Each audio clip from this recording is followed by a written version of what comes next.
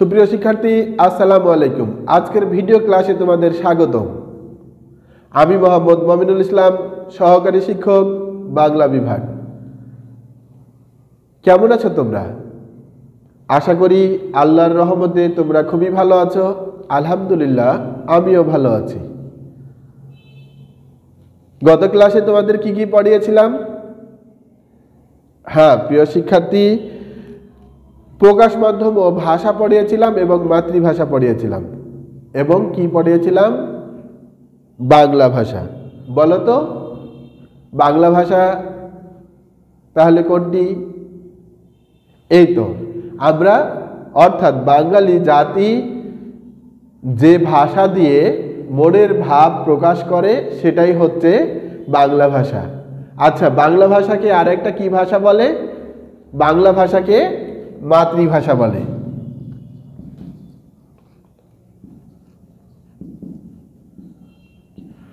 কার মাতৃভাষা? বাঙালির।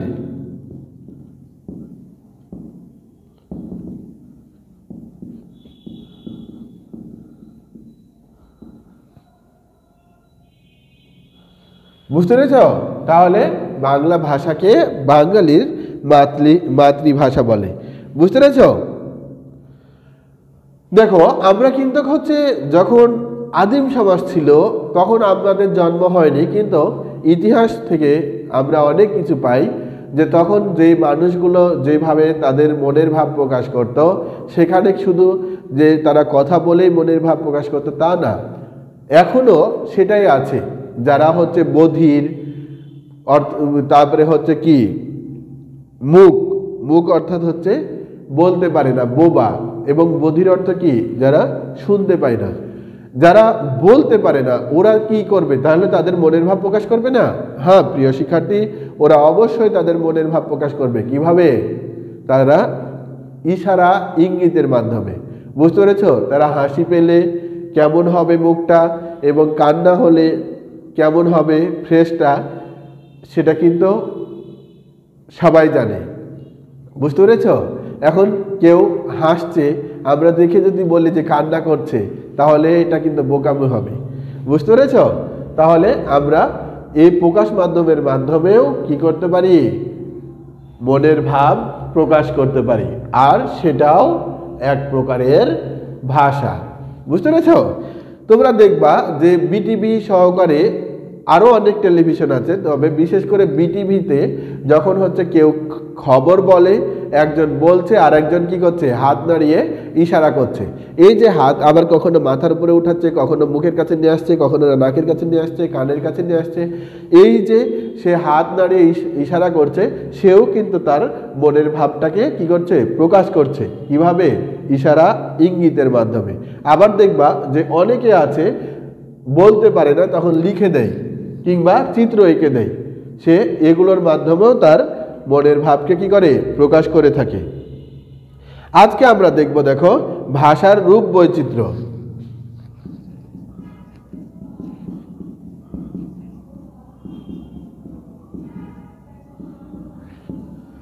ভাষার কোনো রূপ বৈচিত্র্যতার নির্দিষ্টতা তুমি কখনোই পাবা না।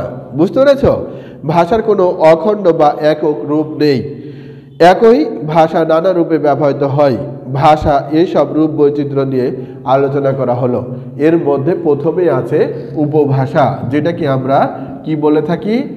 আঞ্চলিক ভাষাও বলে থাকি। তাহলে তোমাদের প্রশ্ন আসতে পারে যে উপভাষার অপর নাম কি? তাহলে তোমরা কি বলবা? উপভাষার অপর নাম হচ্ছে আঞ্চলিক ভাষা। মনে থাকবে? এখন দেখো, উপভাষাটাকে আমরা আবার একটা মাধ্যমে প্রকাশ করতে পারি, সেটা হচ্ছে কি? চলিত ভাষা। কি বলতে পারি? চলিত ভাষা। কারণ হচ্ছে উপভাষাটা এমন একটা জিনিস যেটা হচ্ছে অঞ্চল ভিত্তিক গড়ে ওঠে। অঞ্চল ভিত্তিক দেখবা যে রাজশাহী রাজশাহী অঞ্চলের কথাই যেমন বলি, যেমন রাজশাহীতে আমরা যেভাবে কথা বলছি, চাপাই নবাবগঞ্জে গেলে দেখবা যে এর ভিন্নতা তুমি লক্ষ্য করতে পারছ। আবার দেখবা যে নওগাঁতে গেলে তুমি এর ভিন্নতা পাচ্ছ। আবার নাটোরে গেলেও এর ভিন্নতা পাচ্ছ। সিরাজগঞ্জ গেলেও ভিন্নতা পাচ্ছ। পাবনাতে গেলেও কি? ভিন্নতা পাচ্ছ। কিন্তু এই রাজশাহী বিভাগের মধ্যেই এগুলো প্রচলিত আছে। তাহলে বাইরে যদি তুমি বলো, যেমন নোয়াখালী, তারপরে বরিশাল, তারপরে ঢাকা, ময়মনসিংহ, সিলেট, চট্টগ্রাম দেখবা যে এক এক জায়গার ভাষা এক এক রকম। এই যে ভাষার ভিন্নতা, সেটাই হচ্ছে কি? উপভাষা। মনে থাকবে? একই ভাষা যারা ব্যবহার করে, তাদেরকে বলে একই ভাষাভাষী বা ভাষিক সম্প্রদায়। আমরা যারা বাংলা ভাষায় কথা বলি, তারা সকলে বাংলাভাষী সম্প্রদায়ের অন্তর্ভুক্ত। বুঝতে পেরেছ? কিন্তু এই বাংলা ভাষাকেই আবার বিভিন্নভাবে বলা হচ্ছে, সেটাই আমি এখন তুলে ধরার চেষ্টা করছি। সকলে বাংলা আবার এক নয়, ভৌগোলিক ব্যবধান, যোগাযোগ ব্যবস্থা, সমাজ গঠন, ধর্ম, পেশা ইত্যাদি কারণে এক এলাকার ভাষা থেকে অন্য এলাকার ভাষার পার্থক্য সৃষ্টি হয়। ভৌগোলিক ব্যবধান বা অঞ্চল ভেদে ভাষার যে বৈচিত্র্য, তাই হলো উপভাষা। বুঝতে পেরেছ? ভৌগোলিক ব্যবধান, অর্থাৎ স্থান ভেদে যে ভাষার বৈচিত্র্যতা আমরা লক্ষ্য করি, সেটাই হচ্ছে উপভাষা। আমি একটা উদাহরণ দিই, তাহলে তোমরা বুঝতে পারবা।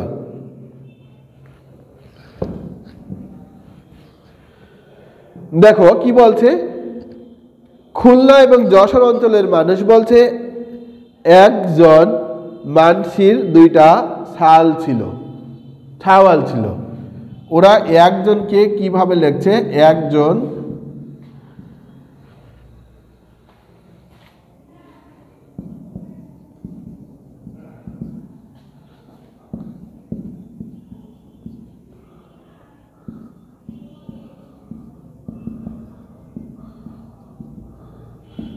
বুঝতে পেরেছ? এটা কি বলছে? খুলনা বলছে। খুলনা। অর্থাৎ খুলনা অঞ্চলের মানুষ এভাবে কথা বলছে, একজন মানসির দুইটা সাওয়াল ছিল। কিন্তু তুমি যদি এটাকে রাজশাহী অঞ্চল হিসাবে করো, রাজশাহী অঞ্চল কি বলবে? একজন মানুষের মানুষের দুইটা ছেলে ছিল। তাই না? বা দুইটি ছেলে ছিল। আবার যদি তুমি এটাকে নোয়াখালী হিসাব করো, নোয়াখালী ভাষাভাষী মানুষ কি বলছে? দেখো, একজন, একজনের দুই হুদ আসিল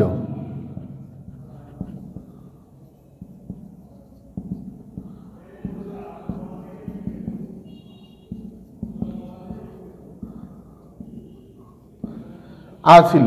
বুঝতে পেরেছ? তাহলে এখানে দেখো কি হয়ে গেল? খুলনার মানুষ ছেলেকে বলছে ছাওয়াল, রাজশাহীর মানুষ ছেলেকে ছেলে বলছে আবার অনেক সময় কি বলে? বেটা বেটা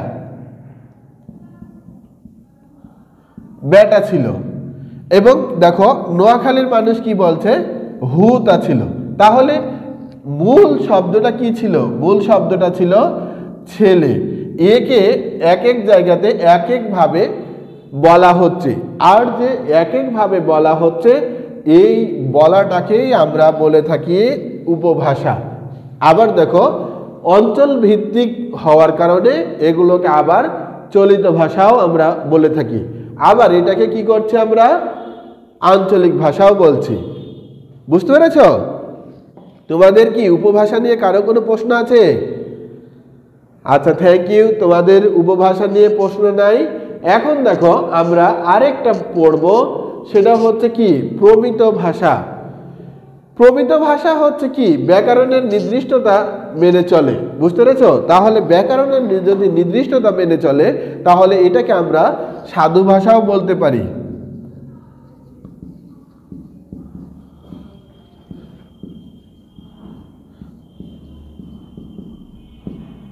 যদিওটা এটা আমরা বইয়ে উল্লেখ নাই তারপরে হচ্ছে এটা কি বৈশিষ্ট্য অনুযায়ী বলতে পারি যেটা সাধু ভাষা? বুঝতে পেরেছ? প্রমিত ভাষাকে আমরা সাধু ভাষা বলতে পারি। কি অনুযায়ী? বৈশিষ্ট্য অনুযায়ী।